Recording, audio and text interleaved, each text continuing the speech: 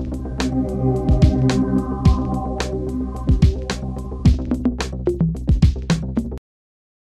we're going to mount the samples now on the sample holder that will carry them into the uh, instrument. And I'm just going to use uh, some double-sided tape. It's the same sort of conductive tape that we use to uh, uh, adhere samples to the sample holder in the microscopes.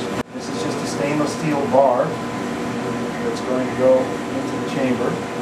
The easiest way to do it is with adhesive. The adhesive pumps down fairly rapidly in the vacuum system. It's not a problem.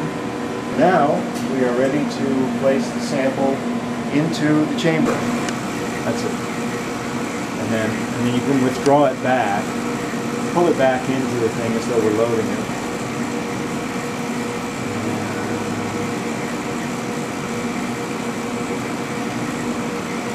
And then you can close the door. And you're going to, you're going to close these, but not tightly, uh, because there's still nitrogen or argon flowing. It's trying to escape out here. So. So we just do it like that, and then we would hit the pump button on the computer. So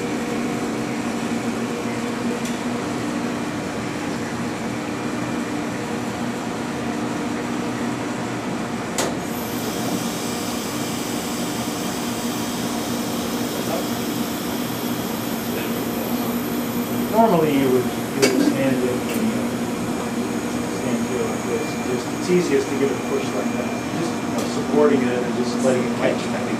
Yeah, yeah, that's why. Yeah, you just a you just give it a little push so the X so that the uh, vacuum can catch it.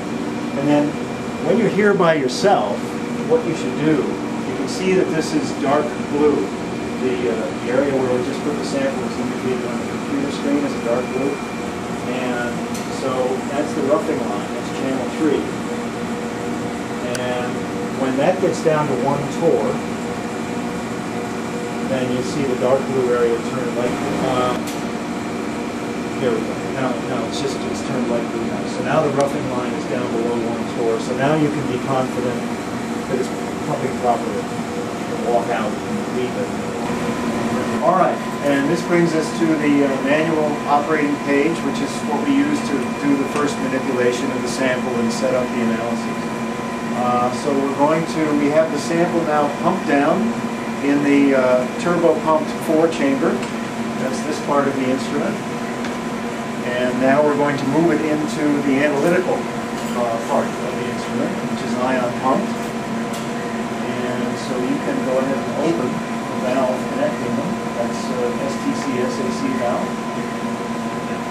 Yeah, you just click there. Uh-huh. And that will take about uh, 20 seconds to open.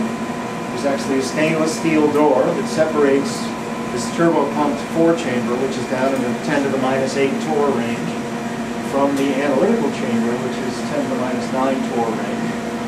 And once that's open, then we can move the sample in and then detach it from the transfer arm and then take the transfer arm out. All right, so now that gate, that gate valve is open now. Yeah, so that's open. So now you can start moving the sample into the analytical chamber. Huh? How, how, how what? I mean, moving How to move it in, yes. You're going to use this, uh, this here, and you're just going to turn that. I can see. Uh, you'll see it actually through the windows in the instrument at the moment. You didn't take your gloves off, too. Okay, okay. Well, it's not helping you. Right. At sorry. Sorry. So yeah, you can just start turning that, and you'll see it in that window after a little while, and then uh, ultimately you'll, you can, uh, later on, you can actually have a seat and look at it through the lower window. It doesn't matter how fast or slow you move this. Only three steps to running the instrument. Step one, we get the sample in. Step two, we're going to find a good position for each sample for analysis. And then step three, we're going to tell it what analysis we want to run. So, So we can we can see that which sample is now at position. yes, yeah. Because there are three samples. That's right. So we're going to turn on the TV. And we're going to turn on the charge neutralizer filament which will also give us a little bit of extra light to help us see what's going on. So you can scroll up the page a little bit here on the computer. Scroll up a little, and uh, we can get to the, a little bit more. There we are, the charge neutralizer. You can turn that on by clicking on. There we go. And now, because you've just loaded the sample and you had to get it off the transfer arm, you moved it to the extreme left. So it's sitting way off to the side of the chamber. So if you take the control box again and move it back to the right, we'll see it on the TV screen. So you're going to press right and then left. That's how you go fast right. You won't see- Camera position Yeah. is this. Yes, yeah. there we are, there's the edge of the bar, and there's one of your samples coming into view. Okay. Now, what we're going to do is, we have to, we have to get a good height for analysis on this sample, because the beam, the beam only strikes a small area of the sample, and it's coming in at an angle.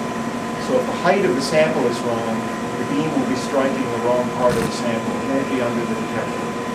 So finding a good height is itself a a two-step process. The first thing we're going to do is just adjust the height so that the picture is in focus here. Because the focus of the camera is set up so that when it's about the right height, it's going to be in focus. So actually is we're going to use the signal we get from the sample to do the fine adjustment. We just want to get it close to being at the right height. So, so now we can zoom that out again so you can see the sample. And now we're going to actually turn on the X-ray and start to get signals and uh, find what the exact best position for each one is and save those positions. What we do now is turn on the X-ray. So if you zoom, if you uh, scroll up just a little, here we are. Uh, we want to switch from magnesium to the monoaluminum. Into a liquid. Right, yeah. And we're going to monoaluminum. So we're switching to the monochromated aluminum filament. Oh, okay. As a monochromatic. Yeah.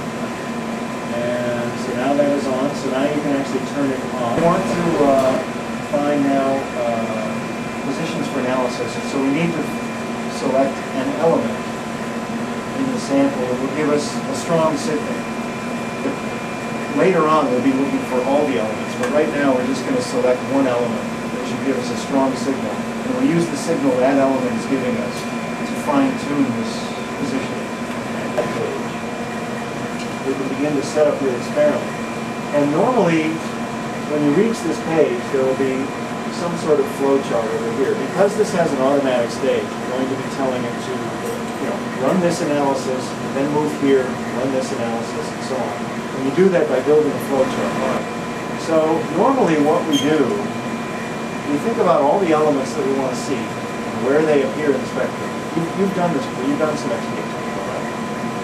So, uh, and we would run a survey scan and just see what's there and how much of it.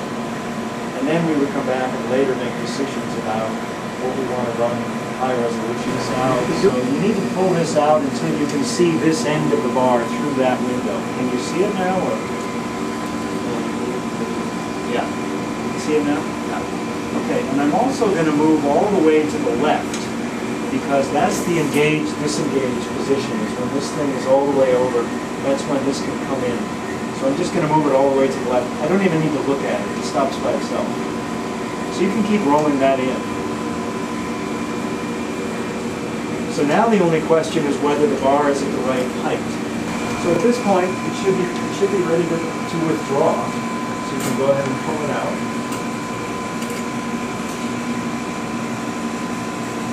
And there it goes. We've got it. And just bring it all the way back until you get a green light on the, uh, on the uh, LED at the end of the arm there. Now we can close the door.